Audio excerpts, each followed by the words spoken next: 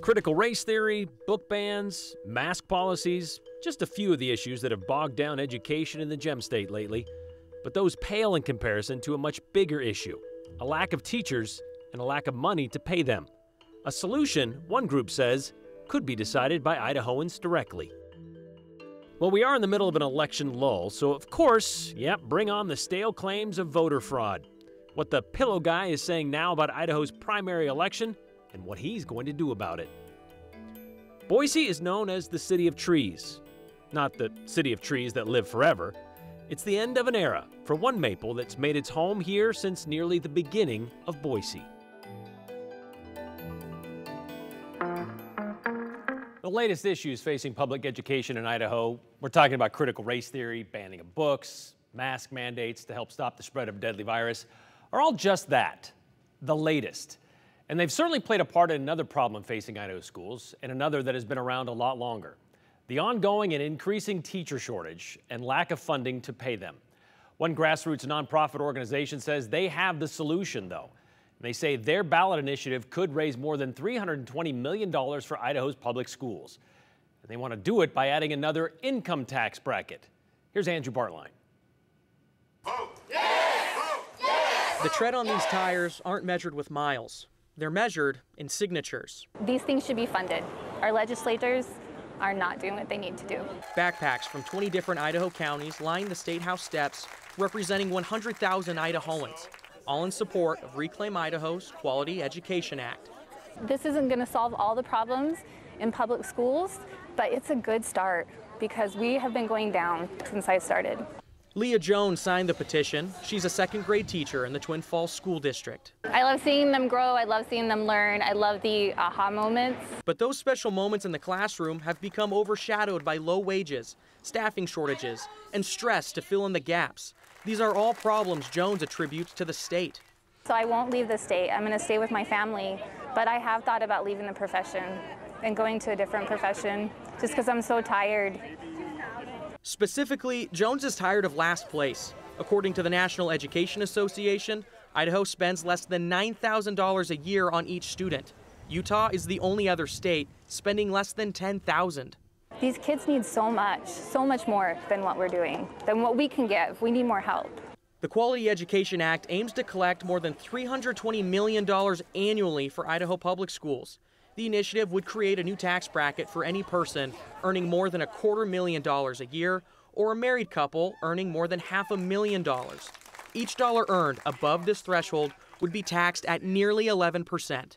We just have a legislature that is absolutely not doing its job with education.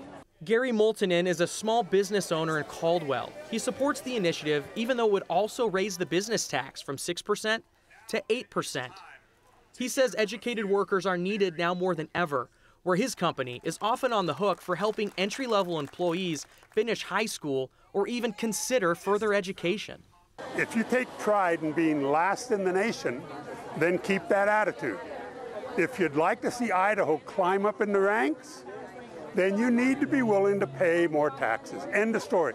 So Jones and Moltenin lined the State House halls and helped this uniform group of citizen lawmakers hand deliver the signatures directly to the Idaho Secretary of State's office for verification. If 65,000 confirmed signatures represent 6% of 18 legislative districts, this initiative will roll its way onto the November ballot. It's really simple. We need educated workers. An initiative needs 50% plus one vote to become state law and the outcome of this vote could be the deciding factor for Leah Jones and other educators. And I just can't anymore. And they'll be more like me leaving if nothing changes. And they'll Reclaim Idaho co-founder Luke Mayville says the counties have confirmed these signatures. That was in the backpacks to make that clear. Now the state just needs to do the same. So his team is very confident over at Reclaim Idaho that this will be on the ballot come November.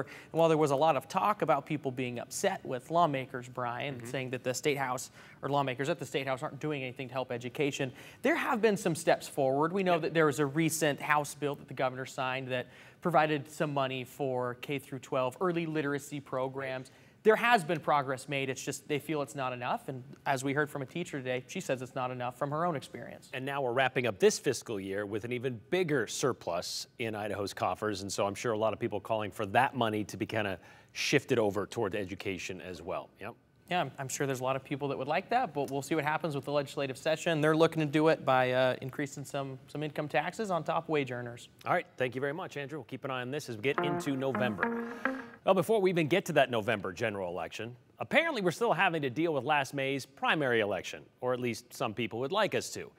Specifically, Mike Lindell, the pillow guy, who has feathered himself into election integrity issues across the country. Well, yesterday, political commentator Ron Filipowski, or Filipkowski, excuse me, tweeted My Pillow CEO Mike Lindell's opening an investigation into Janice McGeachin's loss in the Republican primary for Idaho governor.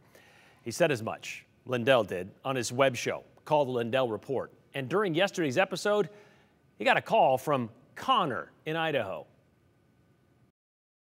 Do you have eyes, or did you have eyes perhaps on Idaho's primary for governor? I know Trump endorsed Janice, uh, I think Meechin is how you say her last name. Uh, she lost to the petty tyrant Brad Little to like an eight to one ratio, and I haven't talked to one person that said they voted for Brad Little.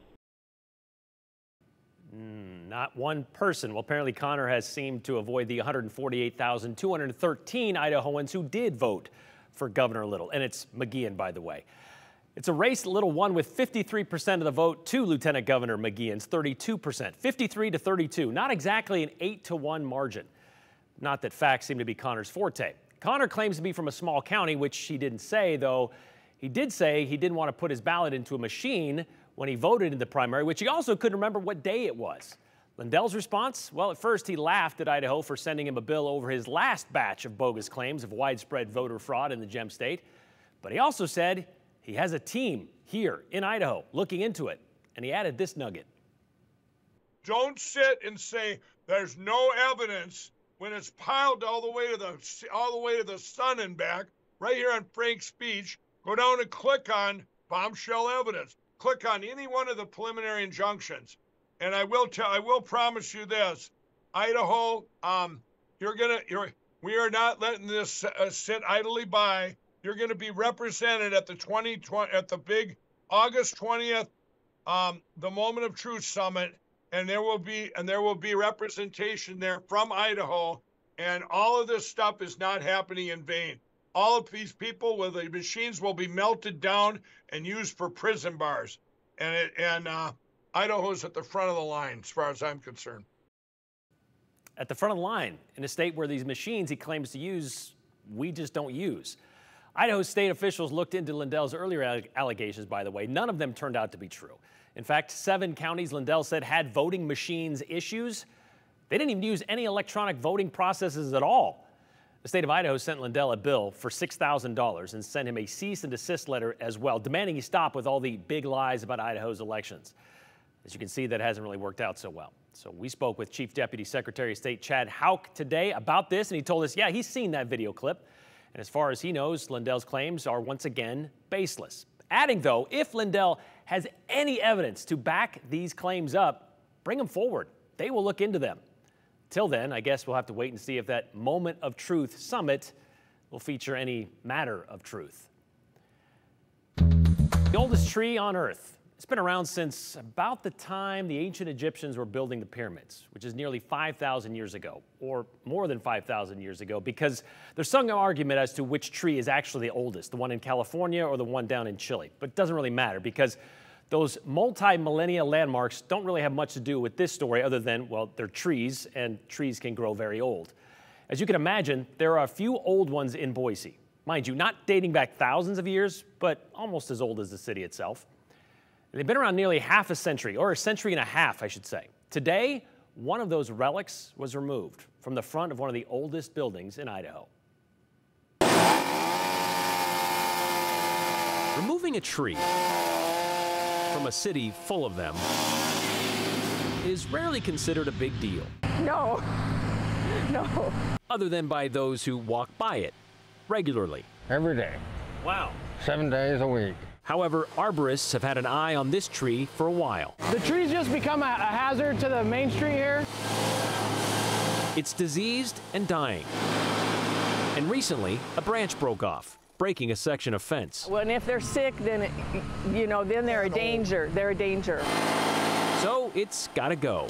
That's what they wanted to do today. Nearly a dozen from Done Right Tree Company will dissect this silver maple, piece by piece. Trees have a life just like all of us. But this tree has had a much longer life, one rooted in Boise's beginnings. when native people were here and then Euro-American settlement began, there was just a row of cottonwoods and willows along the river. So Euro-American settlers introduced everything that we see that's not a willow or a cottonwood tree. Boise was founded in 1863, and shortly after, because the settlement of Idaho was spurred by the discovery of gold, the assay office became the first federal building in the Idaho Territory. It was built because miners needed a place where they could um, they could get an official government sort of certificate that that told them or potential investors about the value of their minerals. The closest place that you could go if you weren't coming to Boise City after 1872 was San Francisco or Denver. So this was a very important building and built here strategically by the US Treasury Department to serve the miners in Idaho Territory. It opened in 1872. Makes it 150 years old this year. And Boiseans wasted little time trying to spruce and silver maple it up a bit. Because this was in essence the first public park in the city. And and they were beautifying these public grounds. And these trees that we have here on this site um, are likely some of the oldest most mature uh, trees in the city. But since nobody actually wrote down when things were planted, their exact age is just a best guess. we have photographs that that show it we think probably in the early 1890s So that makes this silver maple about 130 years old. A legacy about to be lopped off in mere minutes. About an hour and a half. And rightfully so, since it's rotting. But it's a healthy hack at some of Boise's history. is some of the history being lost in the removal of that tree. Absolutely, Idaho history, Boise history has all um, has all been seen by that particular tree. I know. Think about what Main Street used to look like back when that tree was just a little guy. So it kills me when they have to take one of these down. It really does. Sure, several other trees have come and gone before, and several others will follow, since time comes for us all. It does indeed. But it's still a big deal when it does. When you look at these trees, it makes you feel really insignificant. You know, it's like, whoa, you know, Well, the Assay Office is now the home of the State Historic Preservation Office. Dan Everhart, the historian we spoke with who works there, says they're not removing the historic landscape entirely, just, you know, one element of it and maybe a few other elements. There's a couple of other silver maples that are nearing the end of their lifespan, but they do plan to replace them by planting as many as a dozen new trees, so a lot more. And it's part of the renovation project of the park. They're going to be adding some new features, including an interpretive pathway around the outside of the property. There'll be plaques added that will tell the story of the building and the site. There's plans for benches too, so you can sit there and just kind of relax a bit. And they're spending about $300,000 on landscaping upgrades alone this year. All paid for through private donations, corporate sponsorships, and matching funds from the Capital City Development Corporation. They're still raising money, by the way, and they'd be happy to have your help. We will include a link how you can do that in this story at ktvb.com.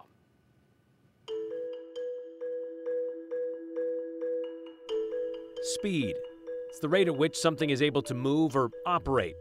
Well, when it comes to a 1976 pickup, speed generally isn't considered. Well, how about we hit 88 miles on the old speedometer and go back a couple of decades?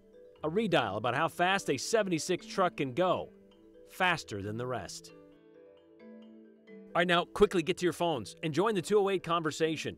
Here's the number you can use 208 321 5614. Text us with any questions or comments you have about the show, but don't forget to include your name and the hashtag the 208. That number also works for a voicemail if you'd like to leave us those, because you know how much we love those. But stick around because we could share your text message at the end of today's show.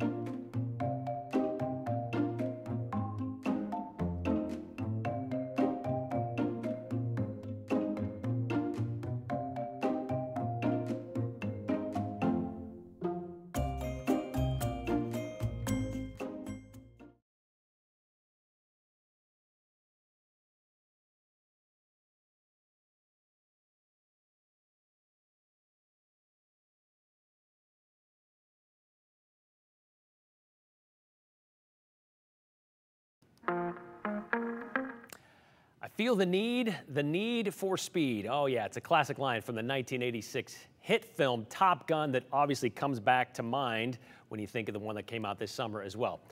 Talking about speed and records and all that kind of stuff. We were combing through the KTVB archives. We didn't have to dig that far back to find another speed demon. Not Maverick, but somebody a little closer to the ground. Back in 2000, John Phillips of Middleton set out to set a record for the fastest land speed in a pickup truck. He tried to do it at the Bonneville Salt Flats in Wendover, Utah. At the time, there was no record for pickups. Like nobody ever did it. And as former Idaho Life reporter John Miller found out, Phillips' 1976 Club Cab, well, might have just settled the score on speed.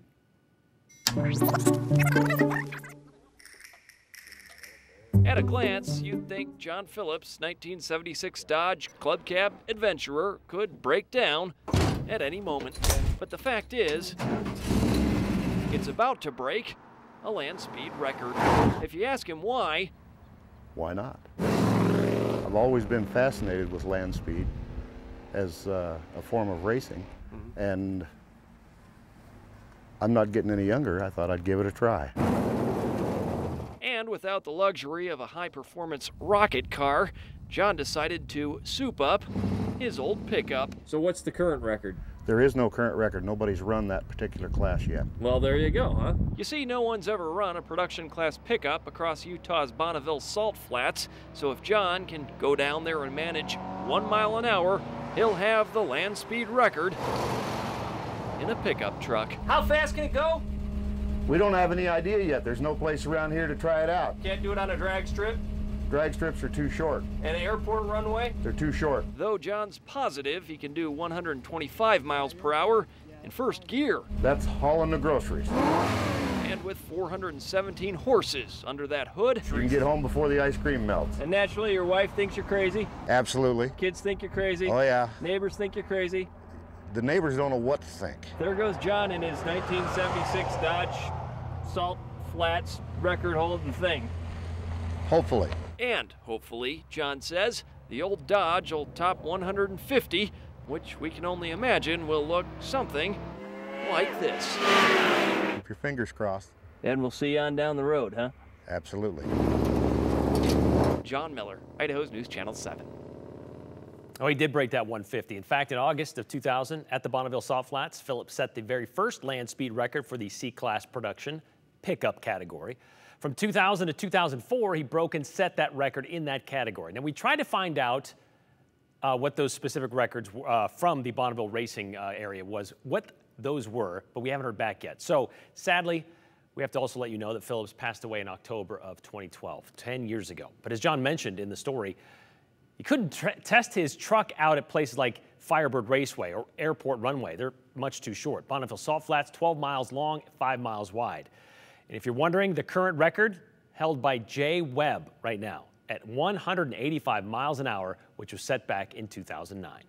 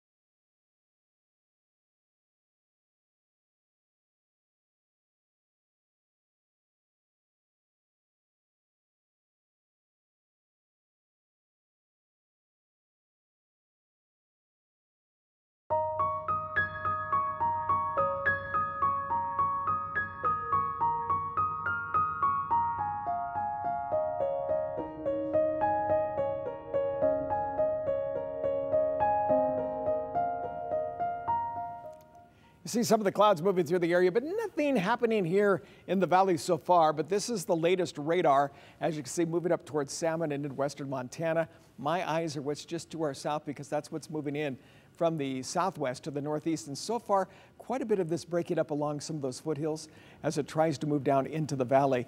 Uh, more of the thunderstorms are here to our south, so Mountain Home appears that again. It's going to be moving into your area, but you notice western Montana, that's where the big storms are. Big, strong storms, uh, hail, rain, as well as gusty winds.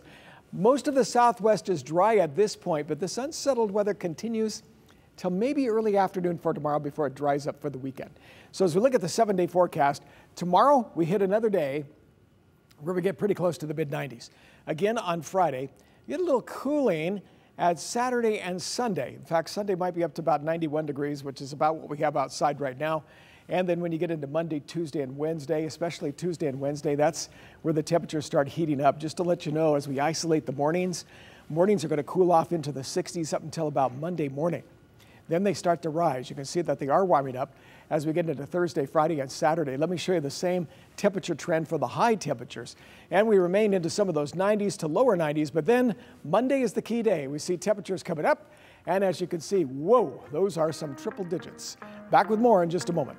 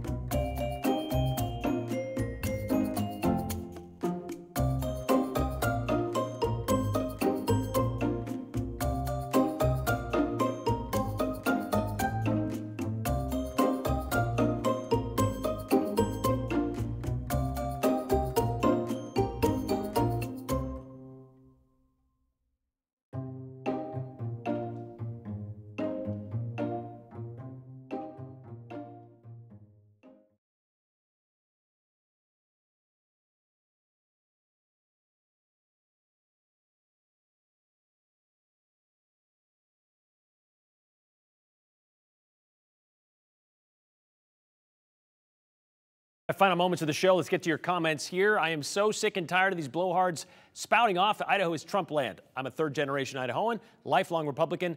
I'm in the middle stream Republican. But those with the microphone seem to forget we are not all right wing nut jobs, says Shauna from Nampa. This one is kind of sent in from Ed Meridian. Ironic that Idaho ranks second to last in educational spending, and an Idaho caller to the My Pillow guy can't pronounce names properly and seems to be guide challenged when it comes to math. Coincidence? I think not. This one, great story on education in Idaho. I quit teaching after three and a half years, in part because the attitude projected toward teachers and education. Had a school board member tell me teachers teach because they can't do anything, so I quit. Spent 30 years flying jets for the Air Force and Northwest and Delta Airlines. My advice to teachers in Idaho today, quit or move, the sooner or better, says John in Boise, and that was a long time ago. We passed term limits a few years ago. The legislators vetoed it the next year, says Ken and Donnelly. Actually, it was passed in 1994, and it was a voter approved three years in a row after that, but in 2002, the Idaho legislature overturned that term limit that was passed by Idaho voters. Brian, the emphasis is on the ass, not the say, as when I say, you know, I was going to put that on my business card, but I was told I couldn't. We'll see you tomorrow.